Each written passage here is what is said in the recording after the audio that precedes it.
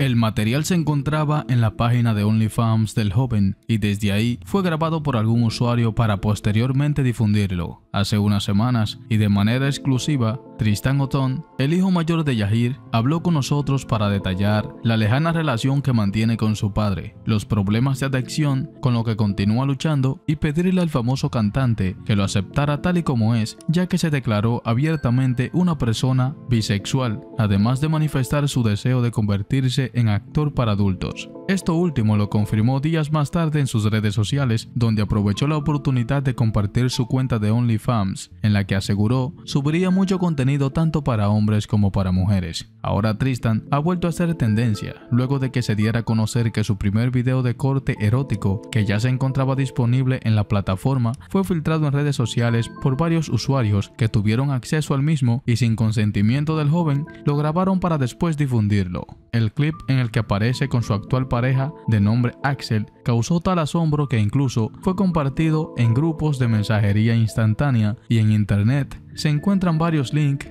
para su descarga. Hasta el momento Tristan no se ha manifestado al respecto, sin embargo en sus diferentes perfiles continúa compartiendo fotografías en las que muestra un poco de su excéntrica vida. Mientras tanto Yahir se ha manifestado en contra de los deseos de su hijo, dejando claro que aunque no le molestan sus preferencias, no lo apoyará en la nueva profesión que decidió emprender y lamentó que su primogénito se exponga tanto al público de internet sin medir las consecuencias.